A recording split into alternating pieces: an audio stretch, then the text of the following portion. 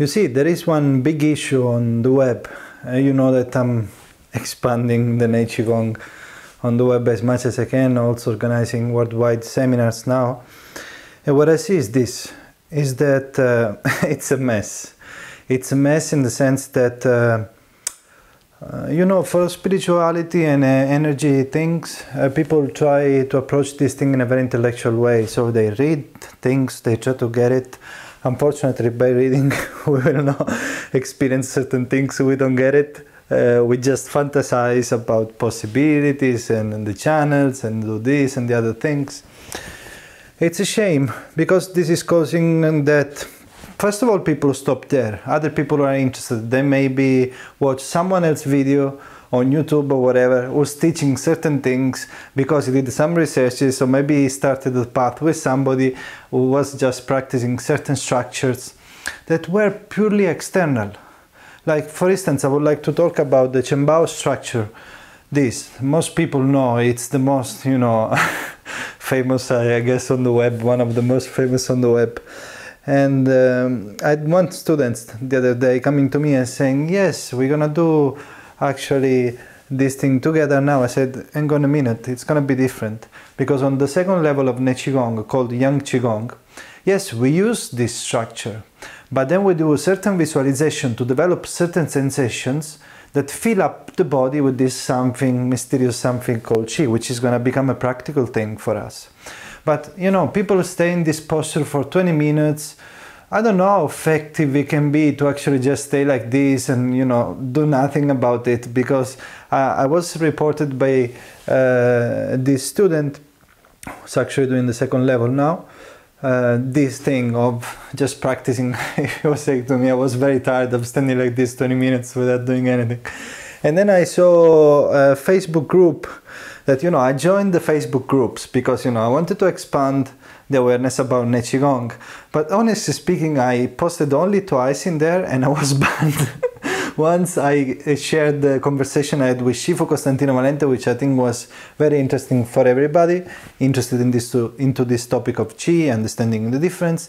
Another time where I was showing the exercise, maybe you saw it, where the arm is not bent even if we apply strong pressure into it.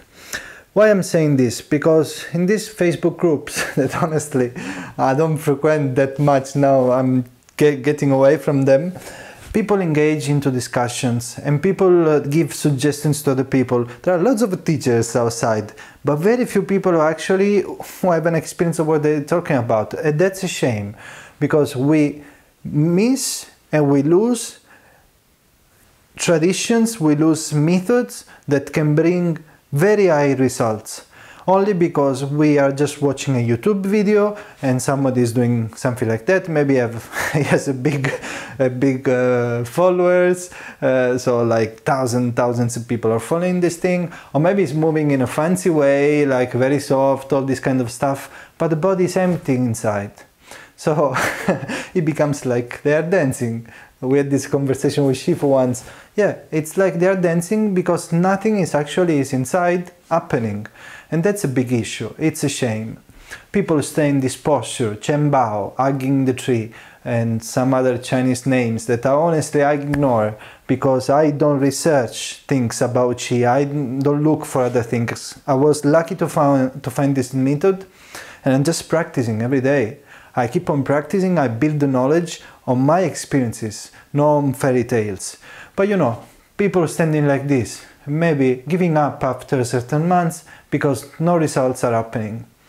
So what we do in the Yang Qigong, for instance, it's the second level of the Nei Qigong system, is building the structure, using certain visualization to develop certain sensations that at a certain point will become irrelevant because you can stay like this and you can recall quickly that sensation of fullness in the body, which is going to develop over time with practice.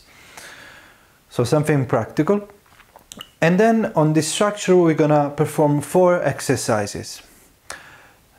Micro orbit, great orbit, all these kind of things, but also other things. But the, the body and the structure is strong, is strong, yet flexible, is full.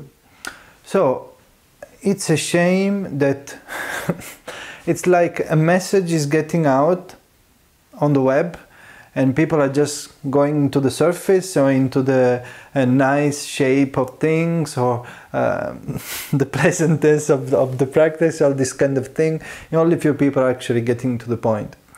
Uh, the reason why we do it on the second level is because on the first level called Xishuan Shangong, we create the right foundation for the body. We create an healthy body, open, the meridians are unlocked, we start to become aware of the body, which is not something that is at the beginning because we are quite disconnected. And then we move on into this thing called Yang Qigong, which I don't want to discuss the meaning of the term Yang and Yin because they become concepts. You can go anywhere else and just read about these things. I prefer to experience and then, you know, ask the teacher for verifications based on experience. This is the method that I share with my students. This is the kind of approach that I want to bring out of skepticism and a scientific approach to the practice, which allows you to be the one to collect the knowledge about how your thing is working.